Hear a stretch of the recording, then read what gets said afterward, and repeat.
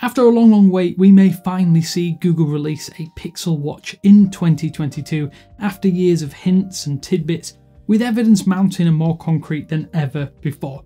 But let's explain. Thanks for watching 9 to 5 Google here on YouTube. Remember to thumbs up, hit subscribe, and then tap the bell icon to be notified about all our future uploads. With Wear OS starting to feel less like an afterthought than it has in previous years and more tightly aligned with the rest of Android and Google's other software efforts, the recent acquisition of Fitbit hasn't though really produced anything of note, but the announcement of Wear OS 3 has really helped set things in motion for what is going to probably be a Pixel Watch here in 2022. This renewed attempt at a first party watch comes as, as we mentioned, Wear OS 3 launched early this year but only on the Samsung Galaxy Watch 4 series. The wearable operating system, though itself, is now based upon Android 11, while Google has itself redesigned several of its own first party apps, including Gboard, YouTube Music, Messages, and Maps. And then adding to that, Google is also encouraging more third party development for the platform. So that's all well and good, but as we mentioned, Fitbit has been acquired by Google, and those devices themselves haven't changed too drastically since that drawn out acquisition by Google. But that said, we have seen a little movement, such as things as the addition of Google Assistant to selected wearables. However, before we really dive into the potential features of Google's upcoming first party Wear OS device that we're expecting, one question currently unanswered is how the company will actually brand this smartwatch. Fitbit has already shared separate plans to create its own Wear OS device, as well as Google to create their own smartwatch with Fitbit integrations. At least for the time being, Fitbit is going to be staying as a separate entity, at least in terms of product lineup and hardware. The reason may be that Fitbit has a much greater mindshare and brand awareness across the globe compared to the Pixel series, be that tablet, smartphone, or now potentially wearable. And while the branding and marketing of Google's smartwatch are likely still far from finalised, we've discovered some concrete indications that Google is leaning towards a Pixel branded watch. However, the watch has, at least internally, been referred to as a Pixel Watch and an Android watch, among some others according to some reports online. The codename Rohan, though, that was previously reported by Jon Prosser, and initially that avenue was somewhat short. Then though came the updated Wear OS 3 emulator in Android Studio, and with some digging and a little sleuthing, courtesy of that previous information and codename, we've found a series of what we believe to be exclusive Pixel Watch watch faces that include direct Fitbit integration. In total, we've uncovered 10 different watch faces, with one including a very prominent Fitbit logo, all demoed here on the Galaxy Watch 4 to give you an indication of what they will look like on actual smartwatch hardware. More interesting here though is a couple of these watch faces were also shared by Front Page Tech in a series of what are believed to be internal renders. This isn't explicit confirmation, but it is a very strong indicator that these watch faces could very well be part of a What Pixel watch and so it's easy to see some of the Google Pixel design influences here too, even at this stage. So to run through things that you're probably going to be seeing, first up we see a very straightforward face that simply displays the time as numerals in pleasant shades of pink. The second follows a similar design, but complications surround the time on three sides with info about your weather, your heart rate, and even the date and time data. The third face, shown in both videos, actually shows the time numerically, surrounded with a step counter that gradually fills a progress ring around the border of that screen, likely being your Google Fit data. Notably, this watch face also features a shoe icon next to your step count. This shoe design is identical to what is currently used on Fitbit apps to represent your step count throughout the day. The fourth watch face though artistically depicts something of a landscape with primary colours of the design gradually shifting as the sun moves lower in the sky. It's not clear if the sun moves according to the time of the day, but the watch's displayed time doesn't seem to change here. The next three watch faces all just appear to be variants of each other, and they feature the same design of a very thick hour hand, a thin minute hand, and an even slimmer second hand. The differences come in a number of complications, such as the weather, the step count, that kind of thing, and how they're shown, and then how the clock numbers are shown on screen, if at all. Another watch face we've uncovered also shows the current hour in the centre along with two rotating wheels that represent minutes and seconds. It's a pretty nice look overall. And the second to last watch face puts the clock off centre with three complications shown on the right hand side.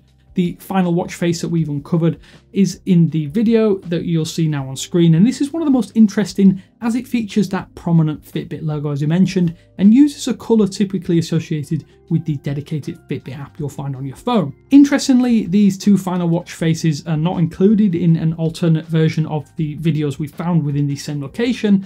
So far as we can tell, the second video is for use outside of the United States, suggesting that the two watch faces in the video previously and possibly Wear OS's broader Fitbit integration, announced back in May, may be exclusive to devices in the US, at least at first. And at this stage, we cannot confirm if that will be the case, but that might be a sore point for avid and eager Android fans out there who were hoping for that Fitbit integration across the globe. Like we said, it may not be the case when this device eventually comes to market, but at this point in time, it does seem to be so.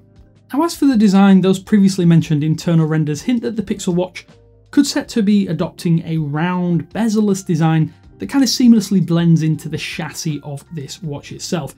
And this will be similar to some devices on the market like the Huawei Watch GT series for instance, but with what looks like a more rounded aesthetic and smoother curves into the actual body of the smartwatch itself. Aside from what is highly, highly likely to be a touchscreen, there is a large crown that we hope will rotate to interact and access selected menu sections and subsections, this could also be used to activate the next gen Google Assistant, as we've also found information and assets pertaining to what the voice AI will be doing on smartphones and smartwatches, and at least how it will operate here on Wear OS 3. The most important aspect of this graphic that you'll now see on screen is that four colour light bar design that's shown on the bottom of the screen, and since the Pixel 4 this has been the signature look of the next gen assistant on phones, and it only makes sense that it would copy this design with a delightful curve uh, uh, being on the screens themselves on smartwatches. Notably, the graphic shown also indicates a second button on the watch, something that the renders of the Pixel Watch have thus far not actually shown.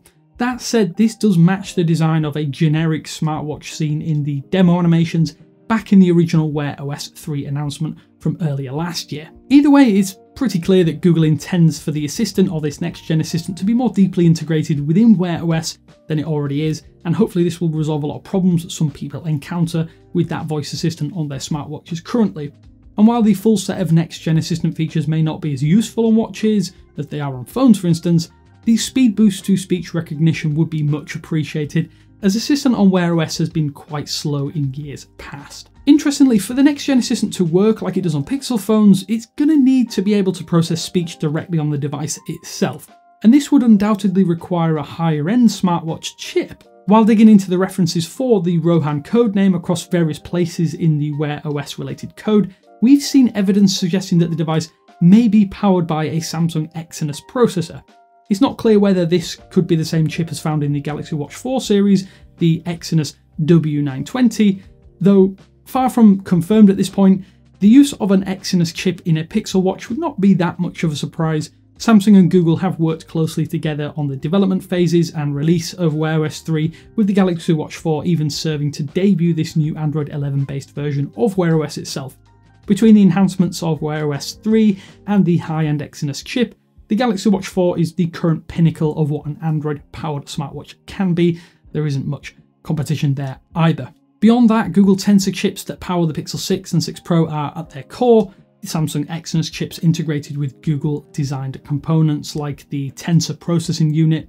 It's possible that Google could take an Exynos chip, integrate some of their own hardware into it, and then brand it as a Google Tensor chip, or it could simply be released as an Exynos branded chip for the Pixel Watch. Now we think that's a fair rundown of the main areas of the Pixel Watch, but what about the proposed release schedule and pricing? Well, according to a report from The Verge, the Pixel Watch is set to cost more than the current Fitbit wearables and likely to compete more directly with the Apple Watch. And given the Fitbit Sense is priced at $299, a cheap wearable this is not going to be. And then, in terms of launch, the device is currently undergoing what is called dog food testing, where Googlers outside of the smartwatch team are able to test and provide feedback on the hardware itself. A launch is planned for 2022, and it could occur as early as spring if that latest testing round is proved to be successful. So, in essence, we could see a Pixel Watch powered by an Exynos processor with your new Google Assistant, Wear OS 3, and with all of that Fitbit integration thrown in. And hopefully that's it. That's everything you were going to need to know about the Google Pixel Watch, at least at this early stage of 2022, given all the information we've found so far.